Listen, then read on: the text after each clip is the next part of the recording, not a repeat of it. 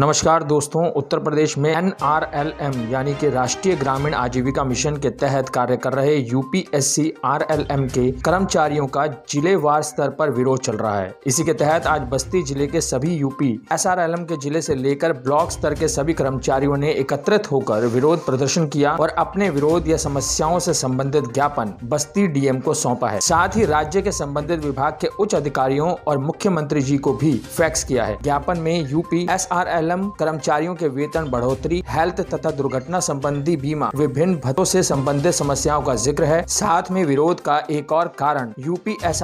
M विभाग द्वारा चुनाव के इस यानी आचार संहिता में विभिन्न पदों की रिक्तियाँ भी निकालना है। ऐसी और भी रोचक और दिलचस्प खबरें जानने के लिए आप विज़िट कर सकते हैं हमारी वेबसाइट www.prsdnews.in लिंक डिस्क्रिप्शन में दिया हुआ है, अभी जाएँ और विज़िट करें हमारी वेबसाइट www.prsdnews.in